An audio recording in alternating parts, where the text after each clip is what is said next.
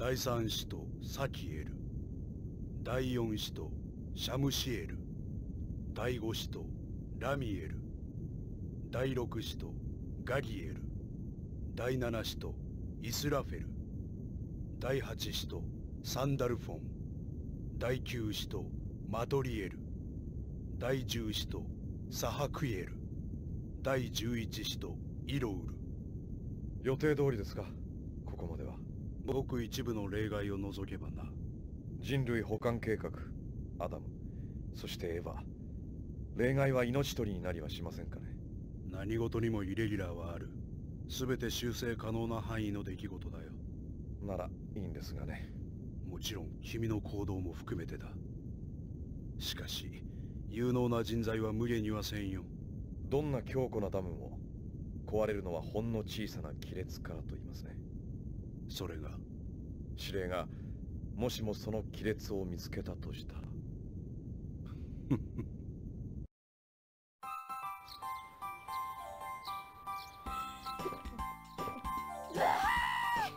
やっぱ朝はビールに限るわね。朝だけじゃないんじゃないですか。うんもう冷たいのねしんちゃんったらいいですよ。この間みたいにスカートが入らなくなったって大騒ぎするのは美里さんですから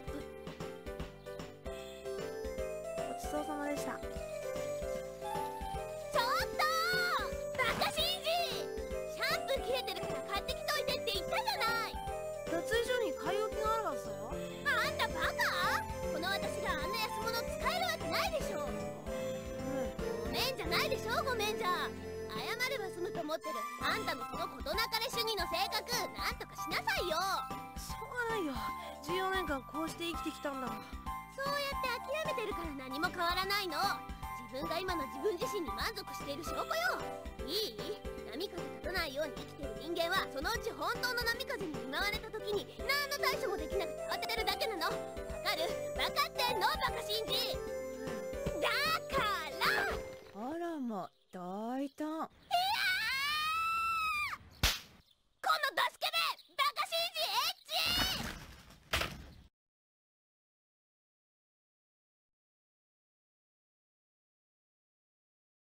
ッチおはようイカリくん。どないしたん。やほっぺた晴らしてまたアスカと夫婦喧嘩かそうじゃないよ健介これはただ私の素肌を覗き見たんでこの罰を受けたの。何？本当かシンジ？まあ結果的にはなんてことを。自分の非を認めたのは感心するけど罪は罪よ。分かってるわね。だからそそのこの後に及んでまだ言い訳する気？まあまあまあまあまあ二人ともその辺で。そうそうそう。続きは教室でゆっくり聞かせてもらうからさ。行こうぜシンジ卑怯者そういや知ってるか？今日転校生が来るんだってさ。ああこのご時世にわざわざ第三神道教師に越してくるなんて水教なやっちゃな。起立！礼着席！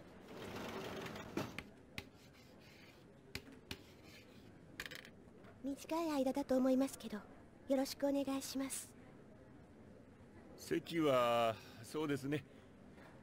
さんの隣が空いているかな。はい。よろしく。こちらこそ。転校生か。パターンオレンジ。未確認。不規則に点滅を繰り返しています。もっと正確な座標を取れる？これ以上は無理ですね。何しろ反応が小さすぎて。近そのようです深度は約 300m パターン青に変わりました。首都目標ロスト全てのセンサーから反応が消えました。観測ヘリからの報告も同じ。目標は完全に消失。どういうこと？先週からこれで3回目よ。試しているのかも。ね私たちの能力を。首都にそんな戦術的判断ができるっていうの？生存本能と闘争本能のせめぎ合いが人間に戦うための知恵。すなわち戦術というものを与えた使徒がそれを手に入れてもおかしくないわ。使徒も生き延びたいのかもテレ号機は？機体パイロットともに問題なし。いつでも出撃できるわ。見えない敵か。まったく勝ったるってやっとられへんな。水泳やっとる女子が羨ましいで。ところでさどうするんだ？来週の文化発表会。なめんどくさいもん。女子にでも任しとけばええがな。そうはいかないさスケの参観もありだろ？ってことは。ってことは？なんや？相変わらず鈍いな。美里さんも見に来るってことだろ？なるほど。そりゃ気張らなあかんな。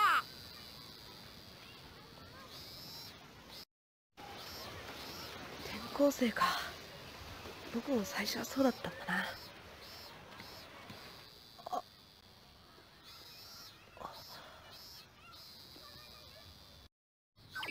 何やってんだシンジ？あいやなんでもないよ。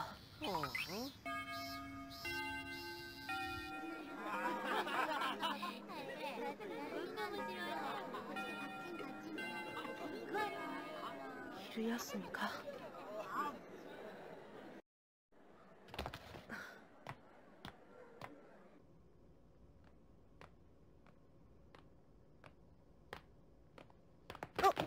ごめんなさい。あ大丈夫？はい。あのあなたは？うん。僕は平気だけど。よかった。本当にごめんなさい。私ぼーっとしてて。あれ？君は？あ確か同じクラスの。碇シンジ。手伝うよ。あいいんです。私のせいですから。うん。一人だと大変そうだから。ごめんなさい。本当に。いいよそんなに謝らなくてもごめんなさい。あいやえっとそのこれだけの本一人で読むのは？い本が好きなんです。だって。だって？いえ何でもありません。ありがとうございました。本当に。うん大したことじゃないよ。あのプールで私のこと見てましたよね。えー、そのじゃあいいんです。それじゃあ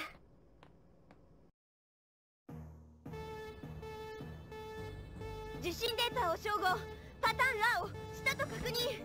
警戒中の観測機。113号より入電。目標の移動速度約70総員第一種戦闘配置。映像入ります。目標の能力。は各部スケール以外は不明。散々地下に潜んでいたのに今になって出てきた。理由は何こちらの手の内が読めた。あるいはより具体的な情報が欲しいのか碇司令は？迎撃は桂木探査に一任するということです。エヴァー各機出撃準備。0号機はすぐに出られます。初号機と2号機の発進準備完了は370秒後。パイロットはすでに待機しています。目標第一次防衛線突破。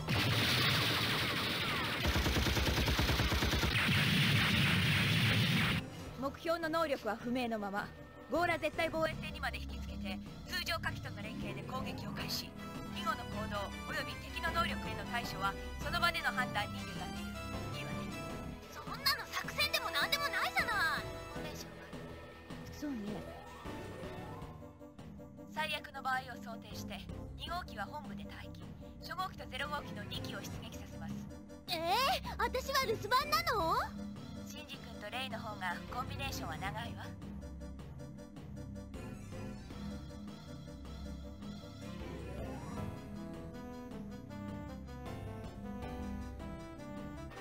あの時のように頼むわね。わかりました。目標は？進行速度変わらず270秒後にゴーラ絶対防衛線に到達します。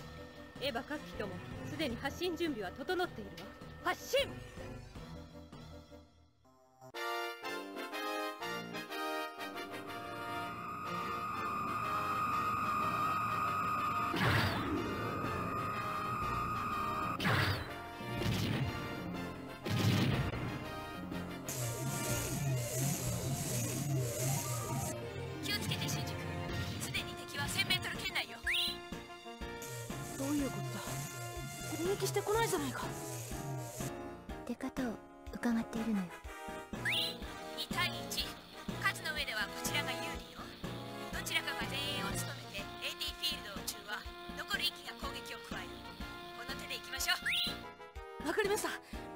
僕が前衛を務めます。それでいい。了解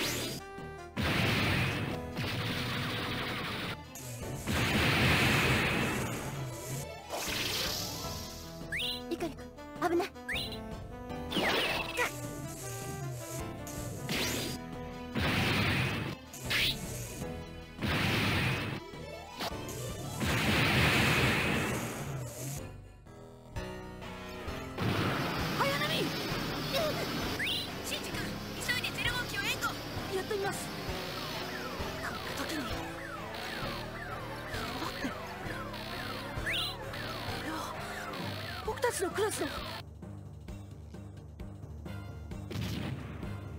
れで大丈夫だ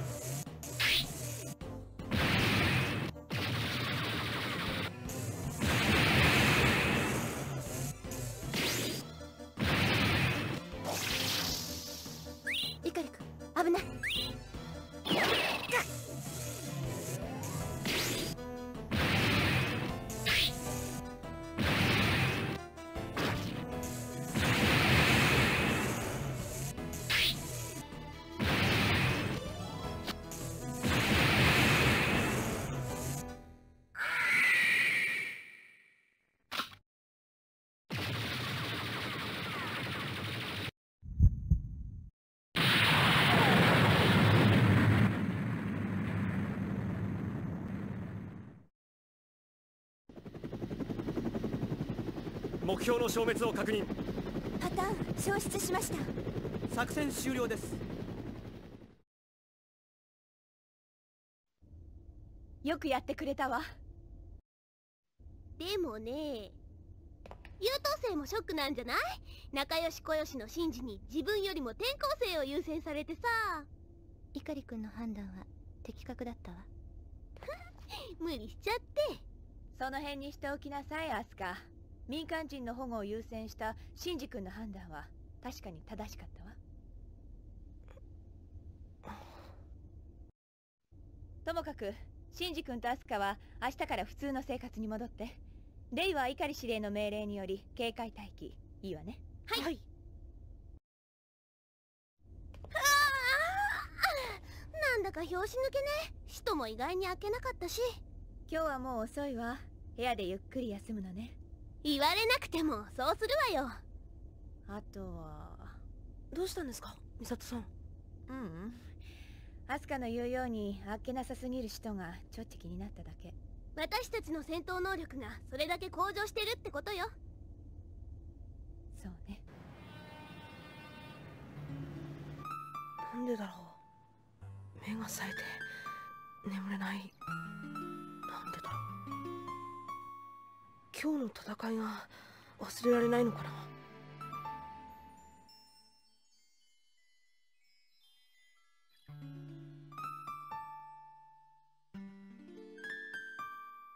違う。そんなんじゃない。僕はただ。そうやって諦めてるから何も変わらないの。自分が今の自分自身に満足している証拠よ。僕は本当に今の自分に満足してるのかな？ごめんじゃないでしょ。謝れば済むと思ってる。あんたのその事なかれ主義の性格。なんとかしなさいよ。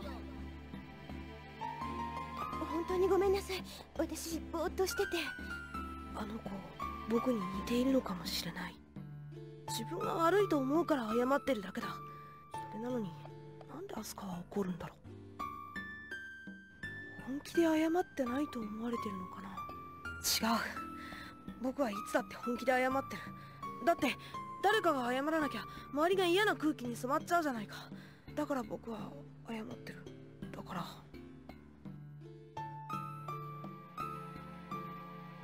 そうだ。だからかな。いつも僕は自分のことや周りのことばかり気にしてる。本当に相手のことを思って謝ってない。考えるのは自分のことだけだ。自分に自信がない。周りの様子が気になる。だからつい謝ってしまうのかもしれない。人のために素直に謝りたい。そのためにまず自分に自信を持ちたい。もっと強い自分になりたい。こんな僕にでも何かできることがあるはずだから。それで僕はとっさにあの子を助けたのかな。綾波を放っておいてまで。僕は強くなりたいのかもしれない。自分の好きな自分になれるくらい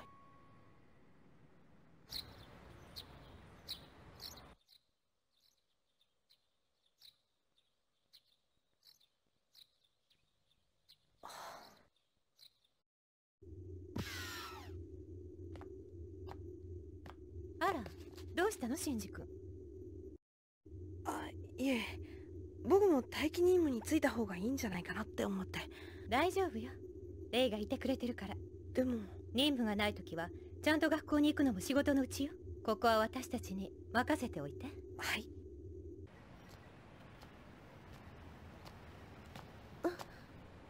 あれ君朝から本を買ってたの？ええ昨日図書室で借りた本みんな読んじゃったから。本が好きなんだね。だっていろんなことを教えてくれるから。あの碇君は本を読んだりしないんですか？うんよく読むよ。よかった。どうして？だって同じ趣味の人がいると思うだけで楽しくなるじゃないですか。そうだね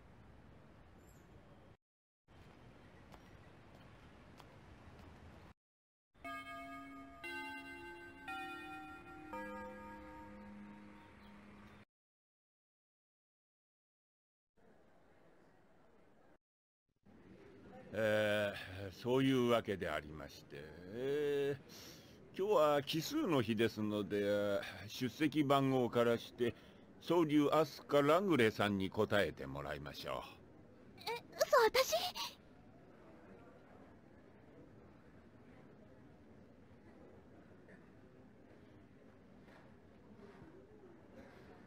そんなこと言われてもええっとう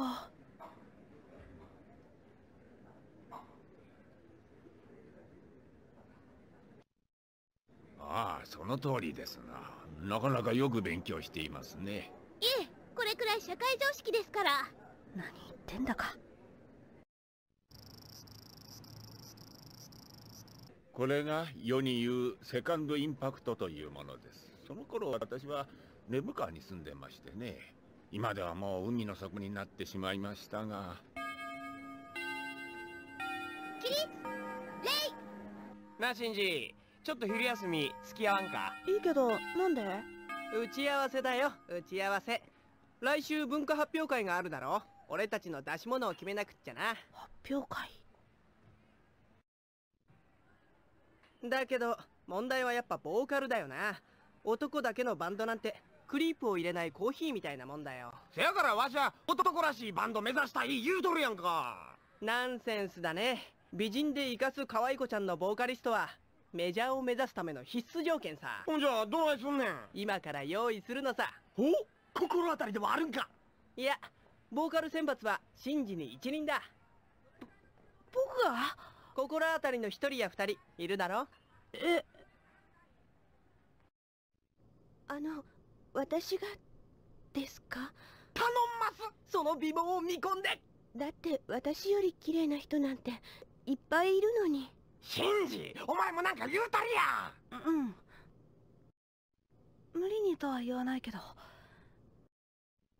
恥ずかしいですけど私でよければ。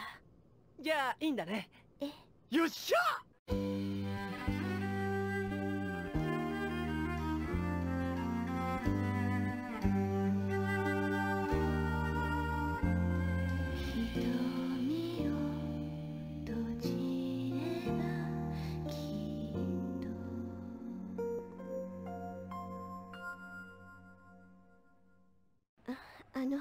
敵や！すごい逸材じゃないか。僕もこれほどとは思わなかったよ。照れくさいですね。人前で歌うのって。よっしゃ！機材の調整してもう一回や！ダメだよ当時。アンプの電源を入れるときはボリュームを下げてからじゃないと下手するとスピーカーが壊れちゃうよ。ああすすまんな。うんついあの曲に感動しっぱなしでな。よやってるな。青葉さんどうしてこんなところに？美里さんに頼まれねシンジ君が地球防衛バンドとかの練習をしてるからギターテクを仕込んでやってくれだと。さすがは美里さんや！あああのボーカルと本格的なギターテックがあれば完璧だな。あまったくその通りや！でもギターの練習するの当時なんだよ。俺の特訓は厳しいぜ。うひゃ一つお手柔らかに頼んますわ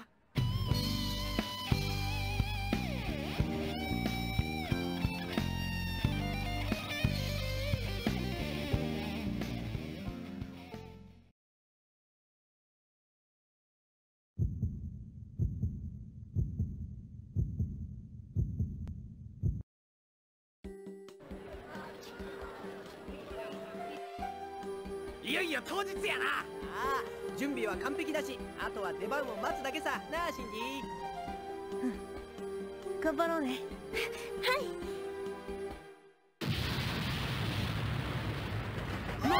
爆発音だ。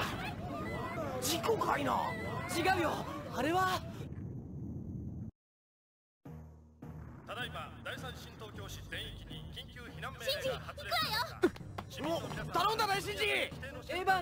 見せてくれよな。中央ブロックおよび第1から第7管区までの収容完了。政府及び関係各省への通達完了。民間人と非戦闘員の退避は？突然の敵襲で混乱しているようです。急がせ。て戦場は市街のど真ん中よ状況は急を要します。すでにゼロ号機は発進。初号機及び2号機も急速発進。目標に威嚇射撃を行いつつ誘導。その間に民間人の避難を完了させる。わエヴァ初号機及び2号機発進準備。分かってるわよねシンジ。あんたやファーストにうろちょろされると戦いの邪魔なの。私に任せておけば使徒の1体や2体簡単に倒してみせるわ。無茶なこと言うなよ。だったらあんた一人でやってみる。場合じゃないのに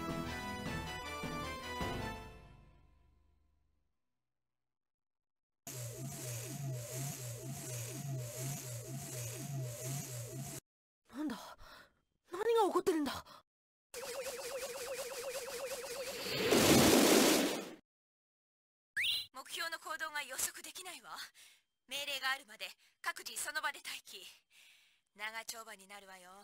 長丁場？何それ？明日の朝がきついってことよ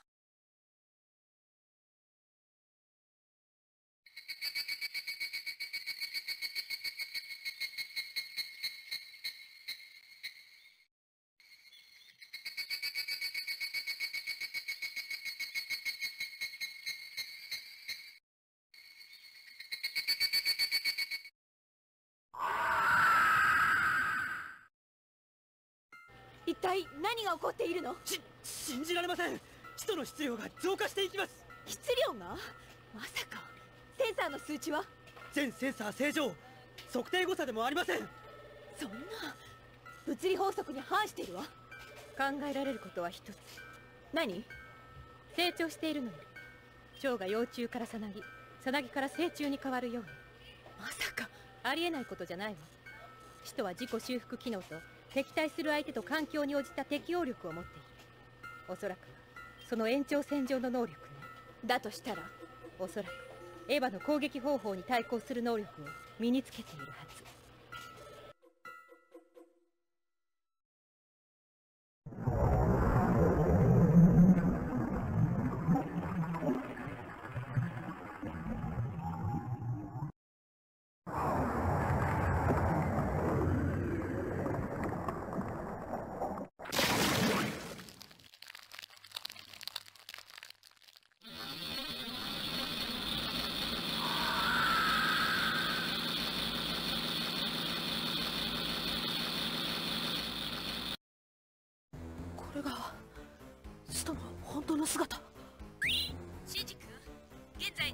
が目標と交戦中。直ちに援護に向かって。わかりました。気をつけてね。変形した目標がどんな力を持っているのか。皆目検討もつかないわ。どうせ見かけだけよ。恐れることないわ。でもゼロ武器を何とかしないと。遠距離攻撃を仕掛けよう。アスカ。まあセオリー通りよね。行くよ。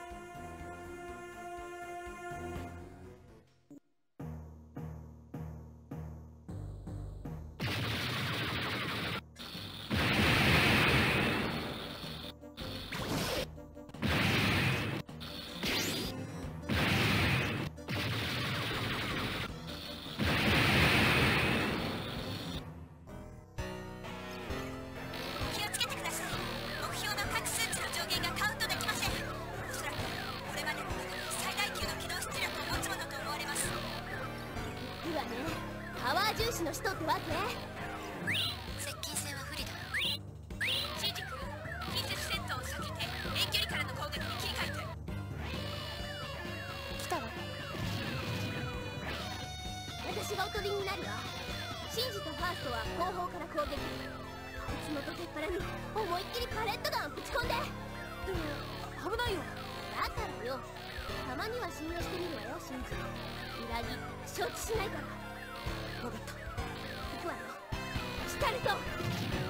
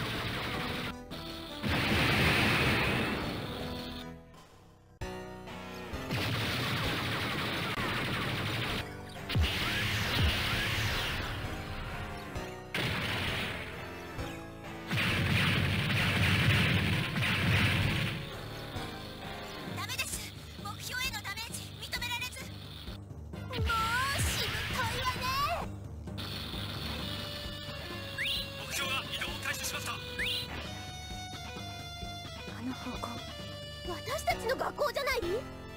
まさか。あかんこれじゃシェルターにも行けへんやないかい。僕たちを盾にしているんだ。なんやて？そうだよ。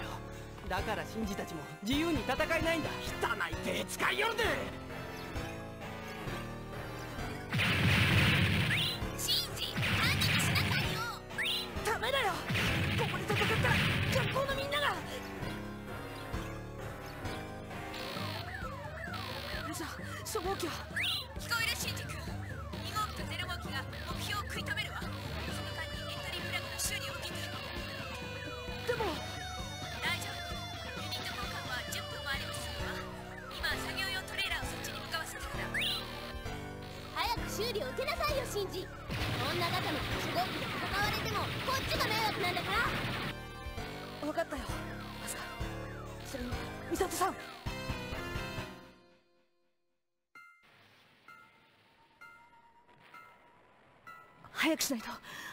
アスカがイカリく委員長どうしてこんなところに？早くシェルターに避難しなきゃ。危ないじゃないか。んでもね彼女がどうしてもイカリくんに言いたいことがあるって。あの私が私のせいでこの間の戦いで私が戦いの邪魔をしたから本当ならあの時にあの怪物を倒せていたはずなのに君のせいなんかじゃないさ。でも。どっちにしても倒さなきゃいけない相手なんだから。ごめんなさい。あまり謝らない方がいいよ。だってこっちまで悲しい気持ちになるじゃないか。修理完了。再起動の準備にかかる。委員長早く彼女と一緒にシェルターに。イカリくんも頑張ってね。やるしかないから。え？僕にはエヴァに乗ることしかないから。やるよ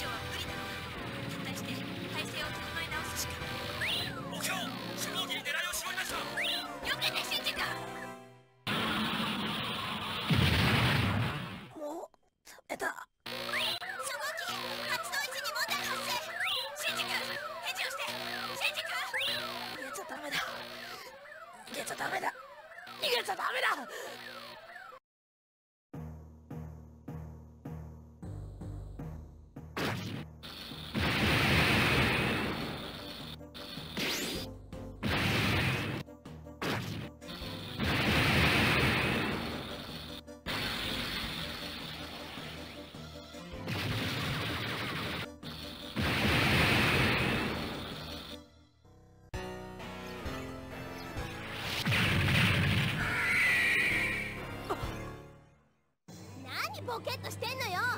アスカ目標はまだ生きているわ。綾波も。私も2号機もまだまだ戦えるわよ。でもシンジ女の子だけ戦わせてあんたは逃げ出すっていうの。そんなことないさ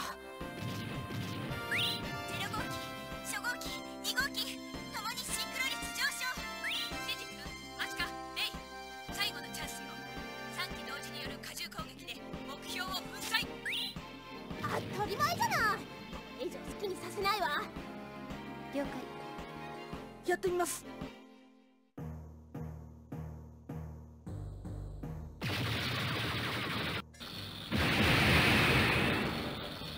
よし。一気に型をつけてやる。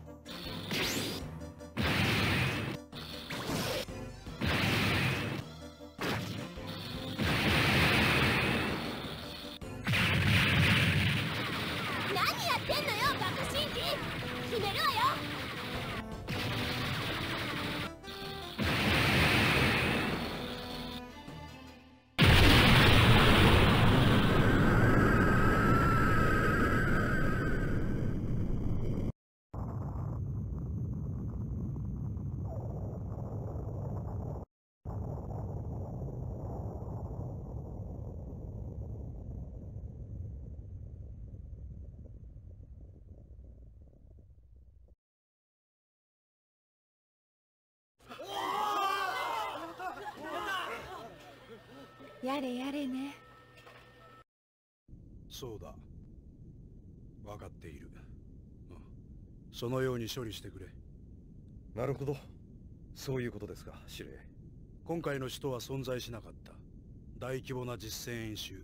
関係各省にはそのように伝えてやる。あとは出張中の冬月がうまくやってくれるだろう。セカンドインパクトアダム。そしてエヴァまた一つ真実が闇に葬られるという寸法ですね。所詮その程度の価値しかないのだよ。真実などというものにはな。結局文化発表会も中止か。まそうだろうね。なんぞ面白いことあらへんかな。あらへんな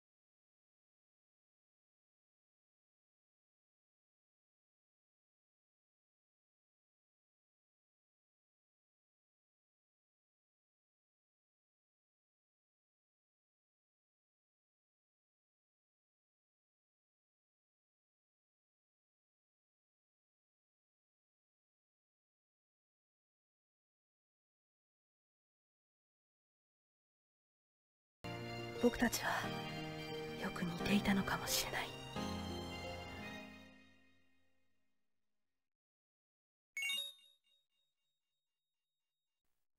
瞳を